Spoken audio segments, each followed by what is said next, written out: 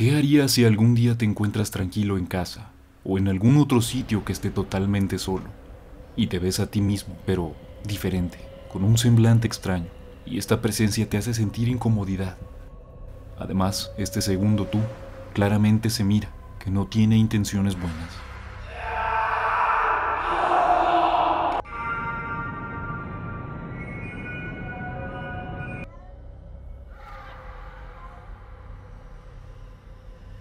Precisamente esto es un doppelganger.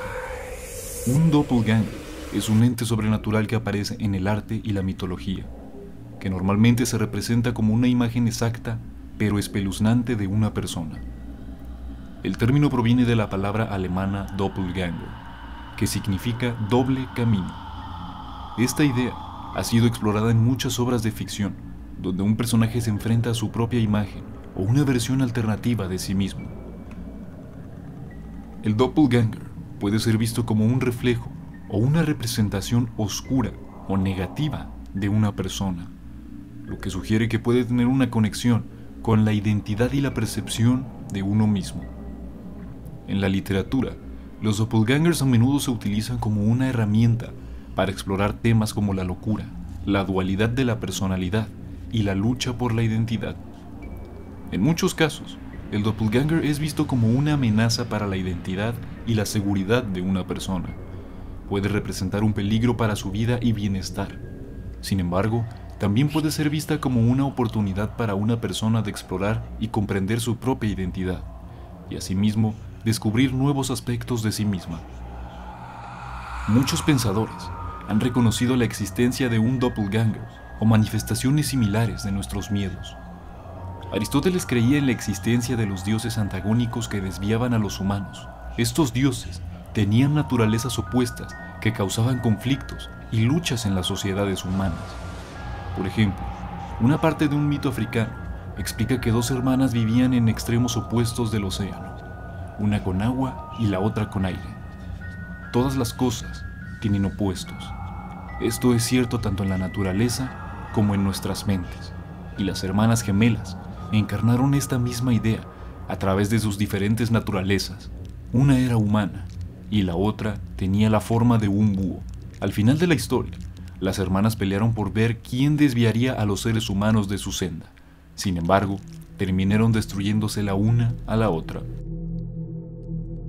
Algunos filósofos griegos antiguos creían que el mundo tenía dos fuerzas opuestas, la luz y la oscuridad, que eran analogías al bien y al mal vieron que el mundo incluso tenía dos creadores, Dios en el lado bueno y Satanás en el lado malo.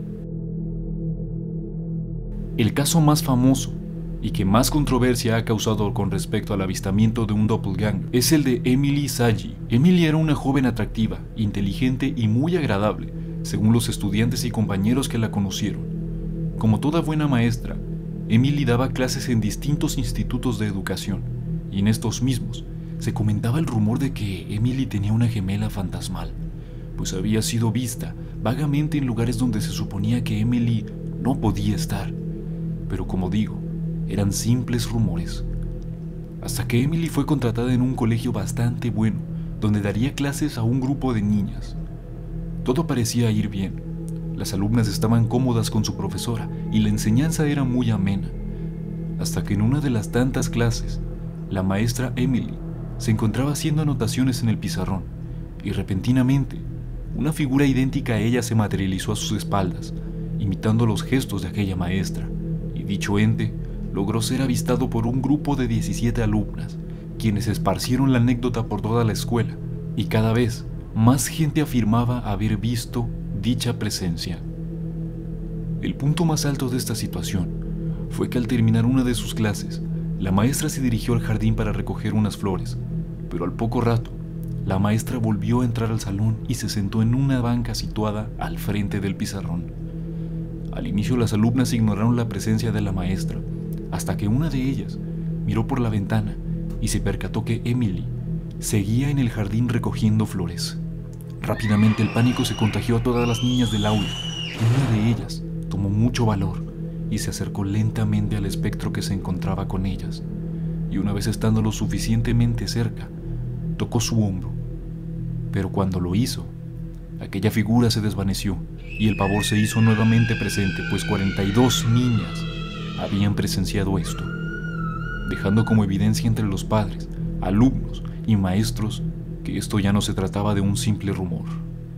Y como consecuencia de esto, Emily fue despedida para conservar la confianza de los padres y los alumnos. Sin embargo, la escuela no volvió a ser la misma, y Emily desapareció junto con su historia. Normalmente yo no me muestro como una persona escéptica ante estos temas, pues el objetivo de este canal no es tratar de persuadir a la audiencia de que estas cosas suceden, simplemente se exponen los casos y ustedes son los que juzgan la veracidad. Sin embargo, tampoco me cierro a la posibilidad de que existan entes o acontecimientos que aún no somos capaces de explicar. Y yo personalmente he visto muchas de estas cosas que hasta la fecha me siguen generando la duda de qué fue lo que pasó. La siguiente historia me ocurrió cuando yo cursaba la preparatoria, en el turno matutino. Normalmente las clases concluían a la una de la tarde y llegaba a mi casa a la una y media o dos. En ese entonces para mí era muy común llegar a mi casa y que se encontrara totalmente sola, pues mi madre trabajaba hasta tarde y mi hermano mayor se encontraba en la universidad situada fuera del municipio. Mi rutina era sencilla. Llegaba de la escuela, me ponía ropa más cómoda, preparaba mi comida y después me iba a dormir. Al despertar, hacía mis tareas y el resto del día jugaba Xbox con mis amigos. Finalmente a las 8 de la noche llegaban mi madre y mi hermano a la casa para cenar, y todo se repetía. Pero hubo un día en particular en el que llegué a mi casa e hice dicha rutina hasta el punto en donde me quedaba dormido. Recuerdo que me quedé dormido muy rápido, pero en algún punto de mi sueño comencé a sentir incomodidad, como si alguien me estuviera viendo dormir. Fue tanta la incomodidad que desperté, y al voltear hacia la puerta, observé la figura de mi madre, que estaba inerte y mirándome fríamente. Normalmente esto no me asustaría, pero a pesar de que reconocía que era mi madre, tenía un semblante extraño y oscuro. Además, a causa de que recién me había despertado, no le dije ninguna palabra hasta que me comencé a levantar de la cama y dicha figura se fue. Yo algo extrañado salí del cuarto en busca de mi madre para preguntarle por qué había ido a verme así. Sin embargo, tras caminar por toda la casa y gritarle para que me escuchara. No había rastro de ella. Como consecuencia de esto, decidí llamarla y preguntarle dónde estaba. Ella me dijo que estaba en el trabajo, y tras esto le conté lo que vi, y su respuesta me heló la sangre, pues me dijo que no había venido a la casa en ningún momento. Y como te mencioné anteriormente, yo no soy una persona demasiado escéptica en cuanto a estos temas, pero tras la realización de algunos videos, me he dado cuenta de que las cosas que he visto tienen nombre, y tal vez si se encuentren allá afuera, acechando y esperando el momento perfecto para revelarse ante las personas. Ya hace algunos años que sucedió esto, pero a día de hoy, debo admitir que cuando me voy a la cama, me aseguro de cerrar bien la puerta y te aconsejaría que tú hicieras lo mismo esta noche.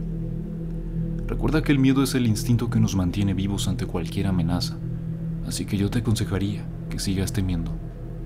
Si tener contacto con tus miedos más profundos te gusta, no olvides suscribirte para que sigas disfrutando de este contenido. Dale like y compártelo para que más personas puedan, de igual manera, disfrutarlo. Espero que esta noche duermas bien.